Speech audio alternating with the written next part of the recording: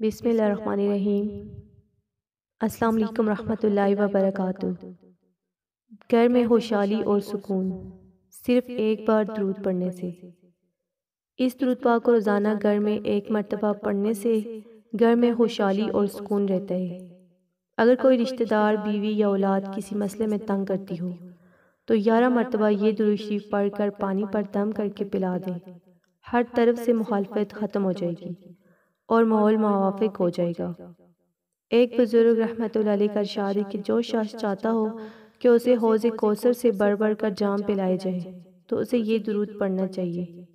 अल्लाह अला सैदिना महमद वाला आलिही व औलादी व जवाजी व व अहल बेती व असहारी व अंसारी व अशियाई व मुहिबी व उम्मती व अलैना माहम अजमाइना या अरहमर्राहिमी तो आप भी रोज़ाना सिर्फ़ एक बार इस दृश्य को पढ़ लिया करें इन आपके घर में सुकून होगा खुशहाली